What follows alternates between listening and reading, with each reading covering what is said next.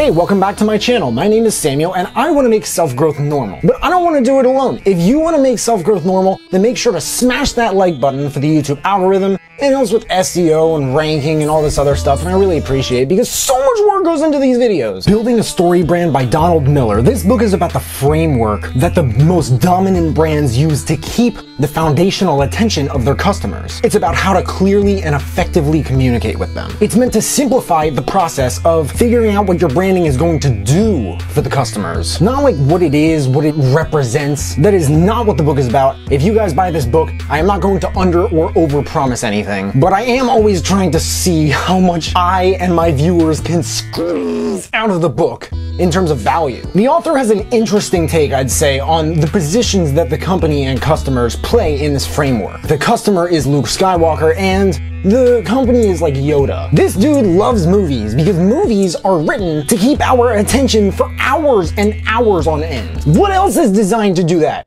Because if you don't like movies, I don't like movies. If you're like me and you don't like movies, this book can teach you what the most successful movies do that the most successful companies do. If you can keep someone's attention for two hours straight, then you are doing something that your competitors probably aren't. So here are the seven key elements he talks about in the book of effective story branding. Let's go over them right now after we smash the like button. Element one is that your brand is not the hero. And that's weird, right? Because you think since it's branding, then the brand is the hero, like saving the customer. But the fact of the matter is that that is not the fact of the matter. The real hero is, you guessed it, the customer. The customer is the star of the show. And if you want to be the light shining down on them, well, we'll get to that in just a second. But the customer is the hero. And your brand is not. Element two, companies tend to sell solutions to external problems and customers tend to buy solutions to internal problems. What does this mean?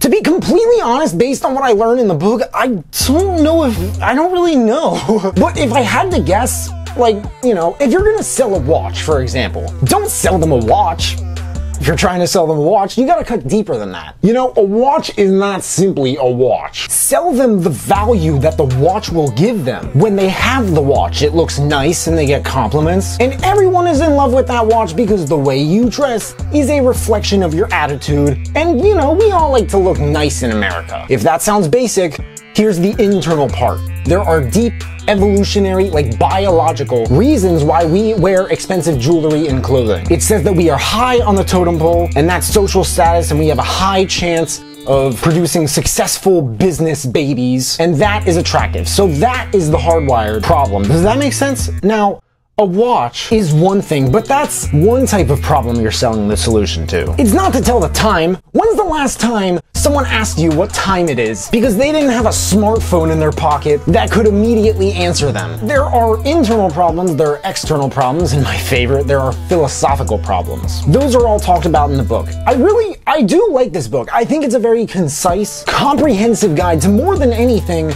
communicating with the people you're targeting, whether you're a personal or company brand. Element two is sell them the external solutions to their internal problem. Element three is that customers aren't looking for another hero.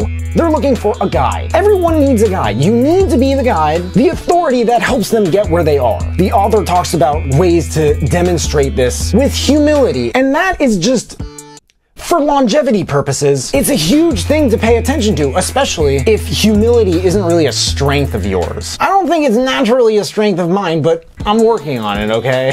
so they don't need a hero, they need a guide. Element four is that customers trust a guide who has a plan. A lot of the time, people don't really need motivation. The fact that they have a problem, chances are if they know what it is, it already sucks. That's enough motivation for them to seek out the help. They just need the clarity to know what to do. The author has a process in this book. It's there's a free it's free on the website and everything. Of course, this book is not just a book, and you guys probably, if you know my channel, you know how I feel about books that are not simply just books. A lot of us think that customers can read our minds, and they just know what to do. They don't. They need a simple, fast, clear call to action, and they need to be hammered with it over and over and over and over again. Every company has their own sort of ratio of how much to give versus how much to call to action. But have a call to action and have a simple plan for them to follow it up with. Just like three to six steps tops. And keep it simple and easy. Element 5 is that customers do not take action unless they are challenged to do so. If you want to know about this, I really highly recommend throwing down the gauntlet and checking out How to Win Friends and Influence People by Dale Carnegie. If you don't know about that book, oh my gosh, if you don't know you don't know about that book, I'll put it this way.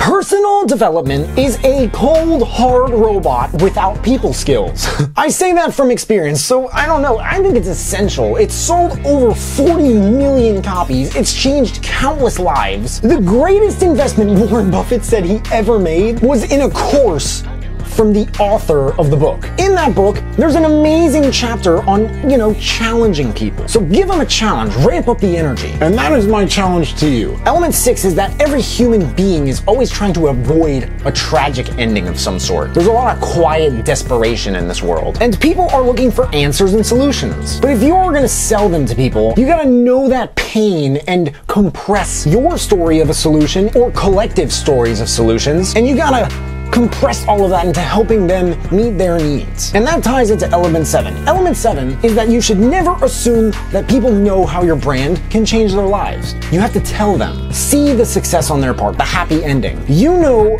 the journey of how to get there, and they don't. But that journey is what you're selling here. After talking about the elements, the author does talk about a brand script, whatever that is, and how to implement it effectively, like all seven elements, and more actually, into your company, with five simple steps. The details to each of them is in the, they're all in the book, but they are of the dumbest utmost importance. Number one is create a one-liner. Number two is create a generator and collect email addresses. Number three is create an automated email campaign. Number four is collect and tell stories of transformation. And number five is create a system that generates referrals. Some of his reasoning behind a lot of these things I think it's pretty genius. Quotes. I learned these formulas so well that my wife hates going to the movies with me because she knows that at some point I'm gonna elbow her and whisper something like, That guy is gonna die in 31 minutes. J.K. Rowling didn't write her first Harry Potter novel by saying, my name is J.K. Rowling and I've always wanted to write a book. Direction 1. I recommend this book if you are trying to build a brand,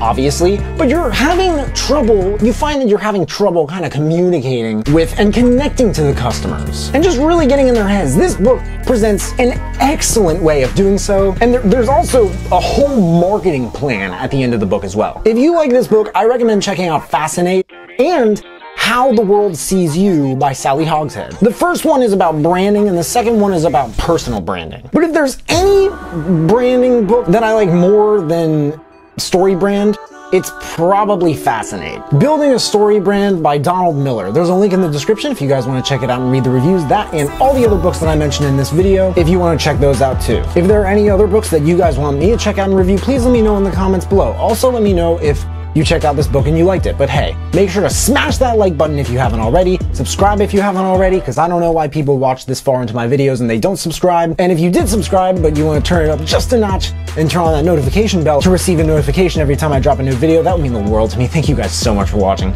I really appreciate it. I do. You can find me everywhere, and I will see you then.